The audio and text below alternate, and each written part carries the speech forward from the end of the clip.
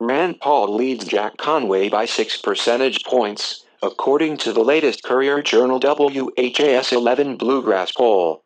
The poll has a margin of error of 4.2 percentage points.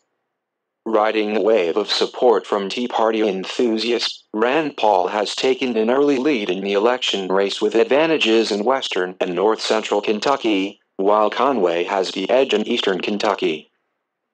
Read more in Sunday's Courier Journal and at www.courier-journal.com